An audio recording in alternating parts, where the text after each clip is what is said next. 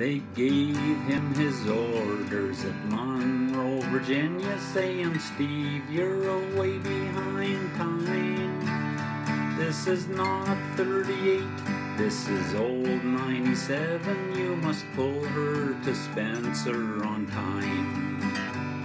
He turned and he said to his black, greasy fireman, Let's shovel on a little more coal.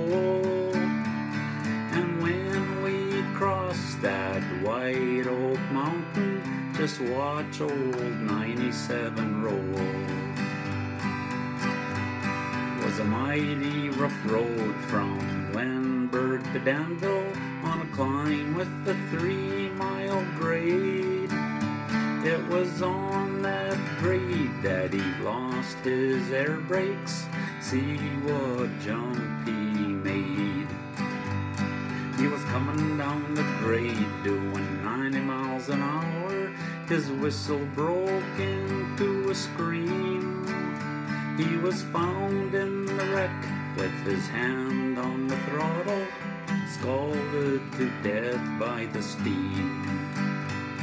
Well, all you ladies had better take a warning from this time on and learn. Never speak harsh words to your true lover husband.